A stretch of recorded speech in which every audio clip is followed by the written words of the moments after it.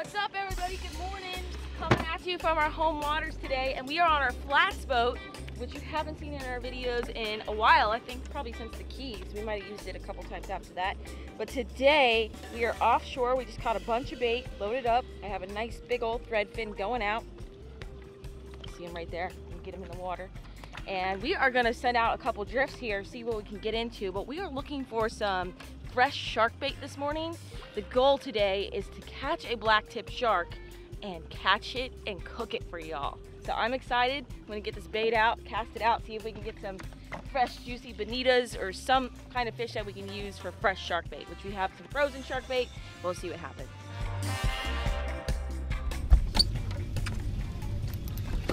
On here? We didn't pull any drag, leads on. Fish on. But using my snook rod, it's usually a fun fight. We try to get him in quick though. It's on the surface, looks like it's shark bait. Oh my gosh, bait's gonna jump in the boat! Oh my gosh!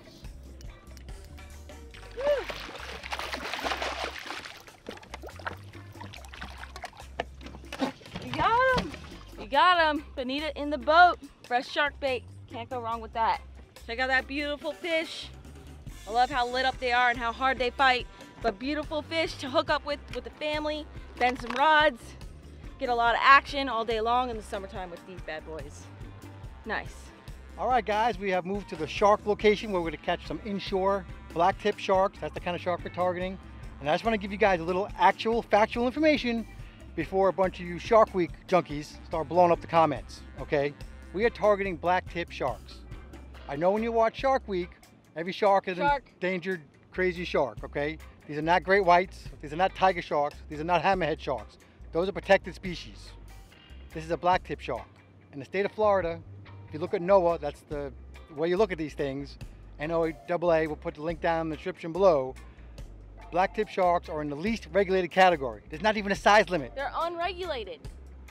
Well, the unregulated, except for the fact that you know you're only allowed to keep one uh, any size, okay? Each person, two for a boat. And that quote, according to NOAA, the fishing status is at recommended levels, okay? There's plenty of these sharks, you can eat them. Just cut up a nice chunk of fresh bonita that we caught a little earlier today. And it's not the biggest piece in the world, it's not the smallest piece in the world. We're catching smaller size sharks here inshore. And we prefer to eat a shark that is on the smaller side. So we're gonna see what happens. If we hook into a big full grown black tip, which is probably five foot long, we'll more than likely not keep that fish. But anything smaller than that, something we're gonna be after. So you can see I'm just rigging it up right through. I can get this hooked through, just like so. We're gonna hang it like that so that way the fish actually gets hooked. We're using a 10 aught, three times strong Mustad circle hook here in line. Then you can see we have the hook crimped on to our 250 pound mono leader. And we use mono because sharks are very sensitive to wire. And in short they're really not going to chew through this 250 pound mono. So from here we probably got a four foot leader. And then on the end here we've got it crimped on to our heavy duty mustad swivel and then tied on with a uni knot to our um, to our fluorocarbon leader which we have a little bit of top shot of fluorocarbon on here. But the main line on this particular rig which we love is 50 pound mono Tuf-Line braid sorry. And we're using a cabo 80 paired with the star rod. And this is a great setup we've been using for years. We love it. So i'm gonna clean off my hands get this casted out. Nice job, Darcizzle. And typically I'm gonna put one line in the bottom, just gonna cast it out, just like that. And another line we'll put out with a little uh, balloon on it to keep it off the bottom and, and, a little bit higher. So we're covering a little bit more of the water column and see which ones the uh, sharks prefer. You never know. I think we got a shark on. He's messing with it. Circle hook, let him get it tight. He's definitely swimming with it. Here we go, here we go. Oh, doubled up. That didn't take long. He might jump. Woo! Oh my gosh! Okay, All right, guys, we got two fish on. Yeah. a little crazy. We got a big mess going on here. Where's Frank? Well, we need him. No, just kidding. Um, so I just actually just dropped the other rod that I was catching that bigger shark on. He was huge. Trying to get a guesstimate on this fish. We don't want to catch the biggest one in the world, like I was saying before, mainly because we don't need all that shark meat, honestly. We just want to do a catch and cook and try them out. We don't need a ton of meat. Don't need to kill the big breeders.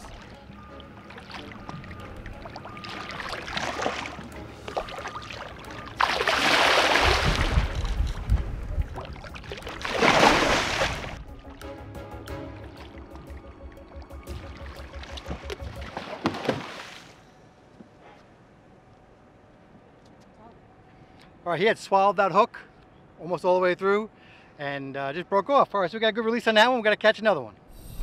Ready? Yeah.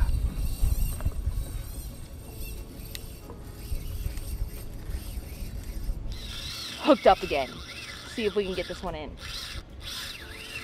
Coming up. Third shark. Not in the boat yet though. Taking my dog for a walk. Oh, he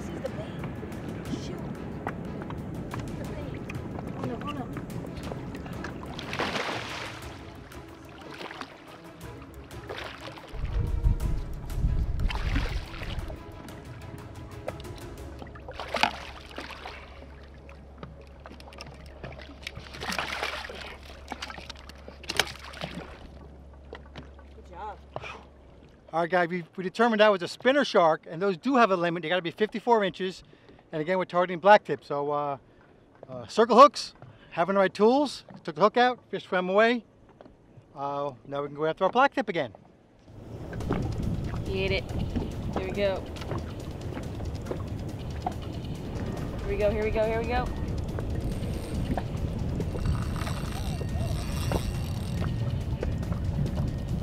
Not fighting at all. He's just coming right to the boat. So this is going to be a very lively shark. But once he sees the boat, he's going to freak. Here he comes. Here he is. Got him. That is a Oh! Oh my god! He just popped. Oh no! Oh no! That was so weird. Sorry, that was a good move of me. I totally, my line just went slack like he popped and I fell backwards a little bit, like just fell back. And he's there still. Now he knows he's hooked.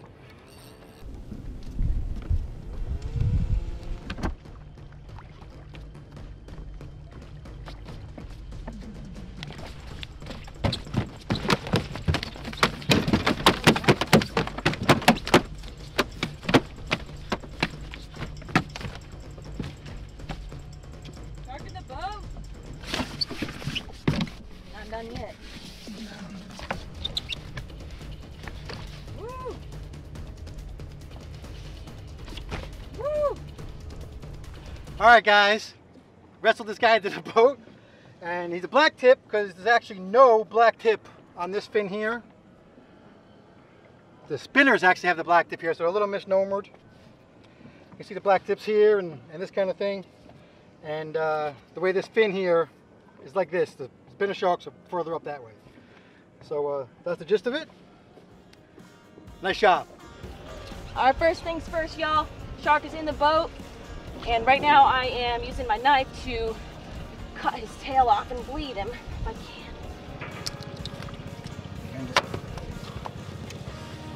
Okay, good. Tail is mostly off and it's gushing blood, which is exactly what we want. We want to go ahead and bleed the shark, and a lot of you guys know that from just different fish species that you catch. You want to bleed them out, particularly if they're a bloody species. And with sharks, they urinate through their skin. So with them, we like to bleed them out right away by cutting the tail, and then we're going to gut them next and get rid of all those innards so the meat doesn't get spoiled or taste nasty. And you can tell it's a male by these two little claspers on their end, and all those marks you might have seen on his body.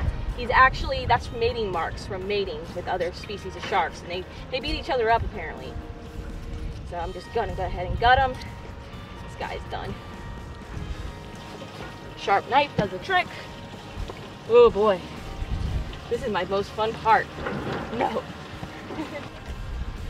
Funnest part of the day, gutting a shark, which I've only done one other time. And I'm just gonna go ahead and to just start cutting it out. But this stuff is so warm, has a weird feeling to it. It's not my favorite. There you go. In the water.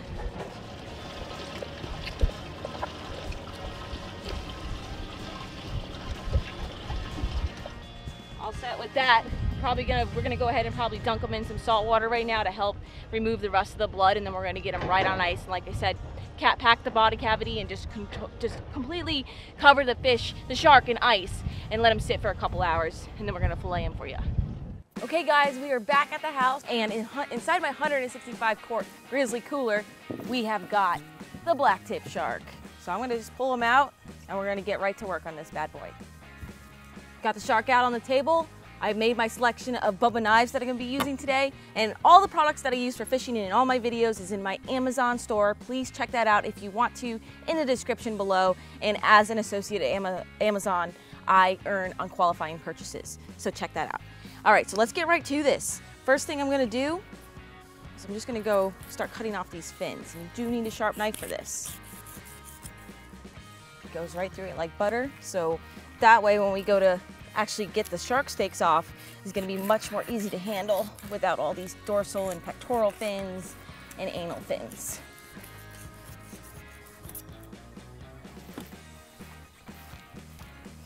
Side. And just so you know too, I'm sure Brian explained that in the last video, but basically the reason why we knew it was a black tip is because all these other fins have black tips on it, except this anal fin, the last fin here and then that is completely white. And that is the reason why they're called a black tip and differentiates them from a spinner shark as well. Just gonna cut this fin off.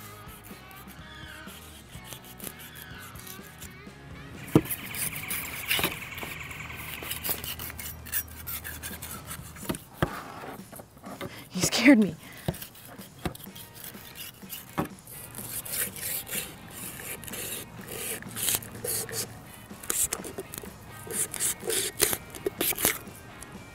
Turn the shark around for me being a left-handed person. I'm gonna work with him this way. I'm just gonna hit the table with water real quick. And the simplest way to do this, honestly, because he's so long and like oddly shaped, you don't want to be working with a giant fillet like you guys normally see me do with fish and just working on one side and get the whole fillet off. So we're going to do this in sections. I'm going to start on the backside here and we're going to work with manageable, manageable sections of shark cut through like that. And then I'm just gonna follow the main line over here. And shark skin is very tough. So like I said, you want a sharp knife for this. We're just gonna follow it down. And then we're just gonna fillet that big old chunk of meat off.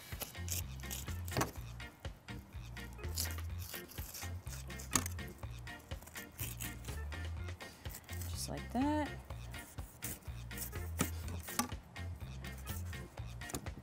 Check that out. Look at that meat. That looks great. Honestly, like if I were to hand this to you too, actually looks like he has some worms. Wow. I don't think I've ever seen that in a shark, but I haven't flayed a lot of sharks either. But I believe this looks very similar to swordfish or even salmon, something very thick. You know, it actually even reminds me of a wahoo, just the way it's shaped in here. And it's a very firm, tough meat. So that's what I could best describe it to you, is it really looks like swordfish. If you didn't know was a shark, it looks like swordfish. All right, let's get the next piece off. Another manageable section.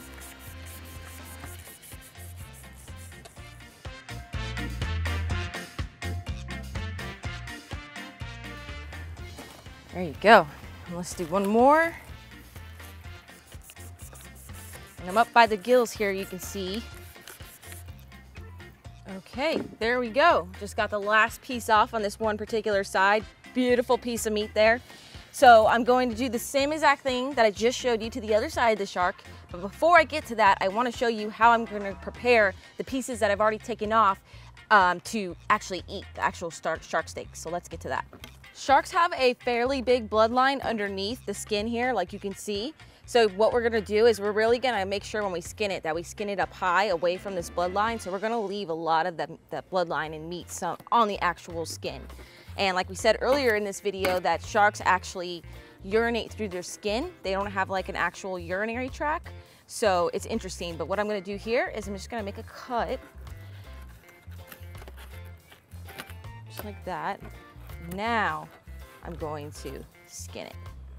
So that way it's manageable and then that way I make sure that I'm not getting the bloodline on the actual piece of meat here. And just like you guys have always seen me, same kind of skinning procedure just gonna hold them at a 45 degree angle. It's get right through it. Like I said, this is a very tough piece of meat. So sharp knife does the trick. So you can see here that I left the bloodline on there. I've left a little bit of meat, but that's not the end of the world. And you can see how beautiful that section of meat is. I'll get the, the rest of that little bloodline off, but he is ready to eat. Beautiful shark steak. I'm gonna go ahead and finish up the whole shark, going to fillet, just like I showed you guys, skin, skin the rest of it, fillet the rest of the shark, and I'm gonna meet you guys back inside the house for the cooked portion. Nice job on that filet, Darcizzle. Thanks. Didn't you the best? No. But welcome to another episode of Cooking with Puddin'. And I got my special ha- inside hat on. Thanks again, Carl. You love, she loves the hat. Yes, the hat is pretty awesome. It makes him official. Makes me official. It's like a chef's hat. But uh, through the wonders of movie magic, we've soaked some of that fish in milk, and some we didn't soak overnight in milk because they say you're supposed to do that. And we want to really see what the taste difference is. Oh, hold on, I gotta take this off. I got, I got a cooker right here. That's actually the milk version. So we're gonna make some tacos. But first, we're gonna try out which one tastes a little bit better. Then we're gonna put in our tacos because, truthfully, we tried this black tip shark before, and some other folks have tried it Yes. and it, maybe it wasn't. Look at her pushing for the camera. I'm just getting closer. I feel like I'm talking so far away. you away. need to be in front, and I need to be in I'm back. talking so Look, far away from the camera. Isn't this to- better? This is much better, guys, isn't it? We need to be much closer. All right. No, So- go ahead. And it, it's a very firm meat. Okay, almost Yes. some people call it like a lamb chop. But other firm meats for fish include wahoo, tuna, swordfish, and other sharks, which up north is pretty pretty common to eat. Right, like the mako. Yeah, mako and Thresher. threshers they eat all the time. So this one is very similar. It's firm, and I've cut it uh, thinner, and just in a little bit of butter on not that high a heat. Okay, so let's try it real quick. Yeah. Darcizzle. Here is the non-soaked. Oh, we're eating right here. Okay. Just try it. Hot. So here we go.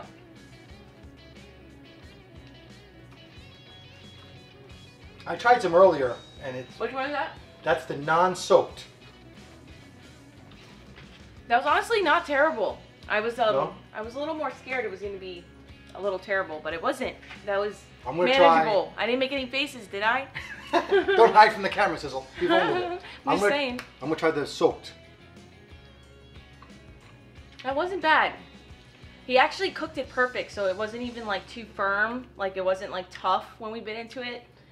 I'm not gonna say anything, but you try this. Try this. Okay. Hot. Eat it.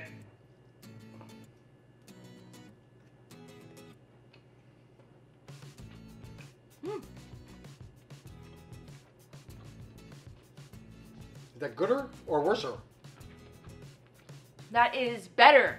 The milk Uh, soaked was much better to me. Yes. Definitely. And we did the right thing. We soaked it overnight in the milk, Yeah. which obviously helps. So you can do it for a couple hours, but they recommend overnight. All right, let's throw in some tacos and try it for real. Let's do this. Awesome. We'll try the milk one. That was really good. Yeah, the yeah, milk yeah. one was good. I'm excited for the tacos now. I'm excited.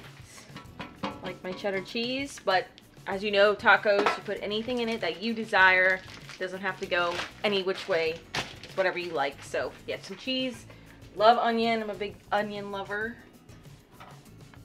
Got some shredded lettuce.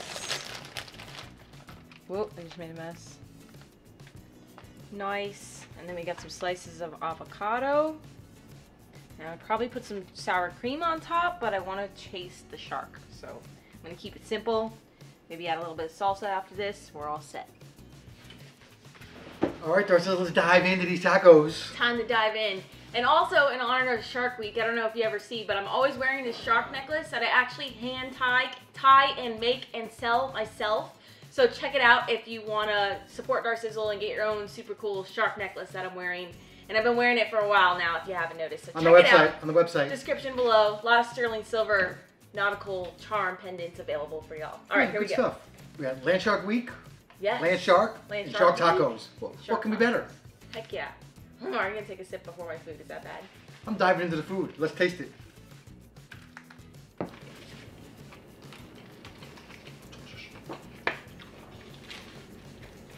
It's really good.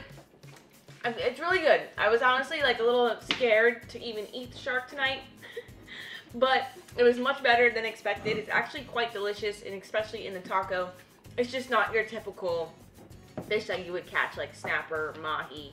It's just not comparable to those. It's just different in its own unique way, and uh, they're very lean fish. They're all muscles, so Yeah, it was really great. And just you know, just You know, we did it. We prepared it a little bit better than we did last year. So you're, everyone's always improving. Soak Yep. it in the milk. Right. Put in a taco. Have a land shark. And Right. it's delicious. Right. So guys, hope you guys enjoy. Have a have a little bit of shark. Don't go crazy, but of course check your regulations where you live. Yeah. And until next time. Follow your dream and, And keep, keep on, on catching. catching. Cheers, Shark Week.